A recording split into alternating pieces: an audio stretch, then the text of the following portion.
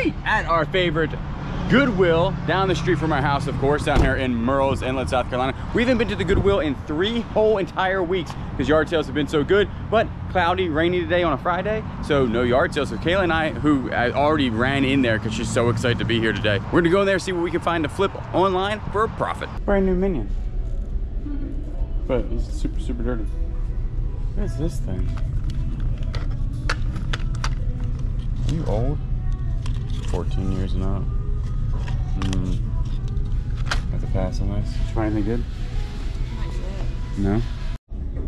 Dude, check these old Scotland head covers out.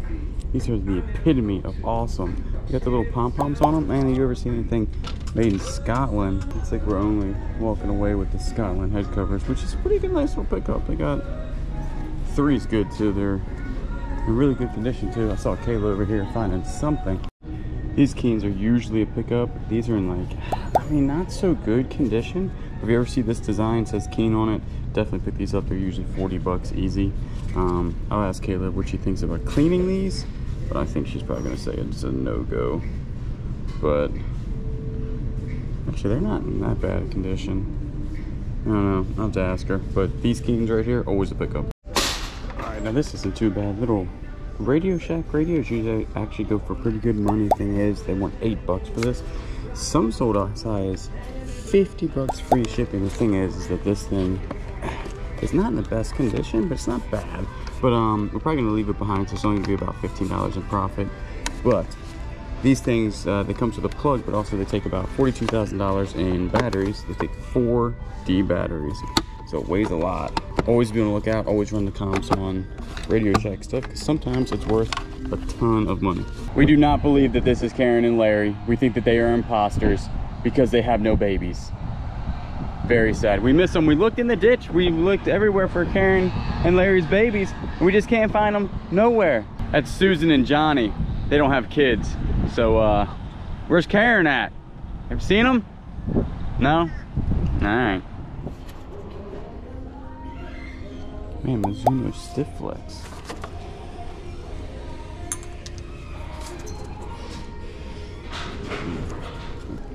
Alright, now these we usually do not find in here. These are Mizuno's, and Mizuno's a good name brand. You usually don't hear me talk about those because I never find them. But Mizuno uh, golf clubs always usually a pickup. Look at this Bissell. Oh, is it connected to that? I don't know. No good. So I just picked up these Coach boots.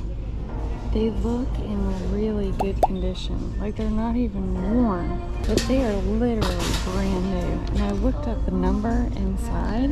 MSRP was $250.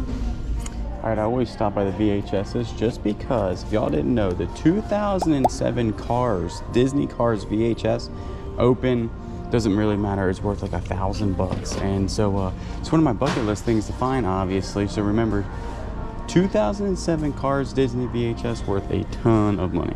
What did you find? Is that leather pants? They're for my dad, the leather pants. Yeah. What are these? These are Coach boots. Really? Brand new, they go for 250 Wow, Coach. And they look like in Yeah. really good condition. I looked up the number, they're legit. They're legit, too legit. Look at that. Coach boots. Nice. What else you find? Um, So, th- what's this little dress down here? oh, that's for me. Is that for you? You want to try it on? No, What are these? these are buckle pants, So like a knockoff brand of Buckle? you would think. You would think. The brand right there, Buckle? These are leather pants. Dad always wants leather pants, so what are they? 36? They're his size. You're lying. Nope. Only one pair sold new for 140 though? I mean, come on. They got one little spot on the back. Oh, do they? It's not bad though, it's right there. See it? Oh, yeah. But, I mean, pants here are like seven bucks. I'm thinking probably easy $50. Yeah. So you, you found some good stuff, coach.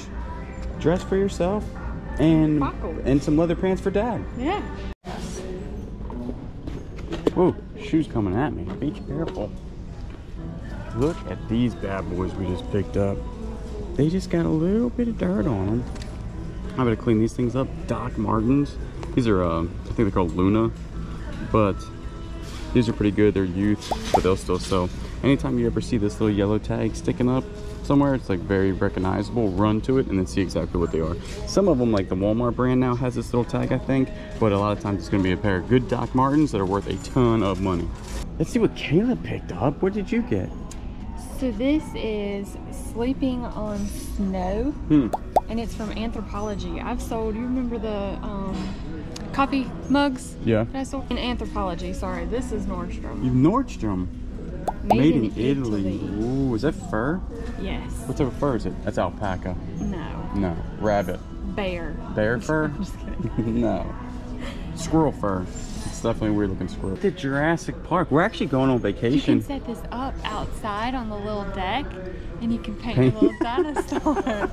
How funny would that Wouldn't be? that be fun? That would be fun. We're going on vacation here in like, I don't know, three days, and we're looking for things to do. This could be the perfect thing to do right here. Plastic easel included. I'm gonna sit out there on the porch and uh and paint my dinosaur next to the stream. We'll have those videos up on the other channel, but this is definitely gonna happen. it's like a whole bunch of pens and pencils, permanent markers. Is it all new? What is the thing underneath? Flip it over. Flower frame canvas. I don't know. It's just frames. Some of this can be worth you. What's in this one?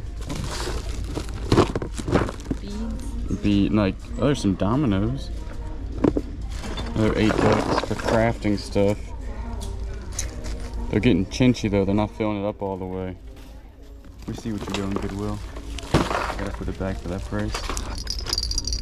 Hmm, these are all used. The old Judy clock though. It's pretty neat. I want two bucks for it. That's basically what it's worth. But I mean, tells time. This is the original clock. How to tell time. At our third thrift store of the day, we're actually doing pretty good. Better than usual, I will have to tell you, on a thrift store. And for some reason, I mean, it's raining outside, but there's not a lot of people in the thrift store. So hopefully, this one's more of a high-end one up here at Market Commons in Myrtle Beach. But we're gonna go in here and see what they got. Flip the line for profit. Winner, winner, chicken dinner on these AFTCO pants, shorts. There it is. American Fishing something, something, something. The, uh, but AFTCO, AFTCO shorts are always a pickup. Don't even really have to look them up because I know for 100% it's an easy 20 to 30 bucks. Usually where there's one, there's multiple, but I'm not seeing any. Like I said, when there's one, there's usually another one. Another pair of AFTCO shorts. Uh, looks like it's got a little stain on it. I don't know. They're still gonna be a buy. These are definitely older too. Size 40, same size as the other one, which is good. Maybe there's a third, maybe.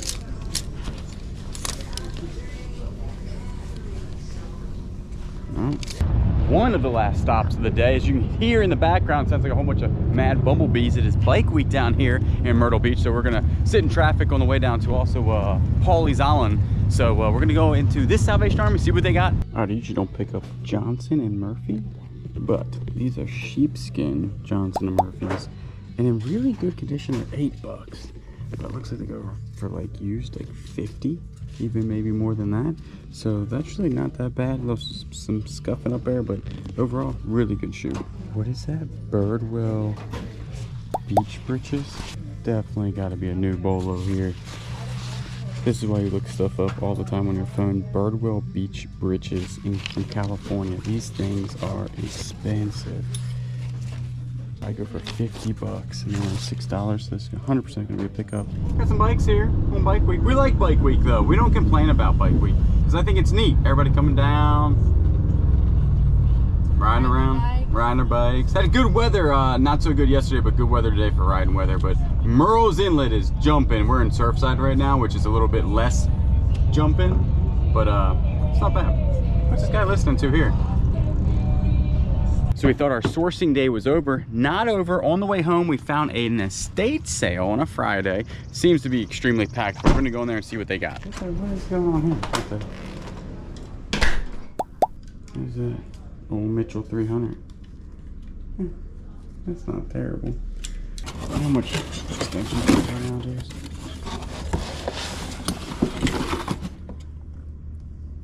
Look at this piece of powder. Oh, what is that?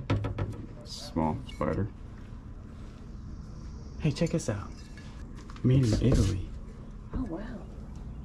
Oh, take a look at that thing. Is this Avon? Yeah, well, they had it yesterday too. I heard. Federal law forbids sale or reuse of this bottle. What type of bottle is this? Check this thing out. Read the back of that. Look at this nice little sander. Wait a second. I just found a gem hiding in the corner.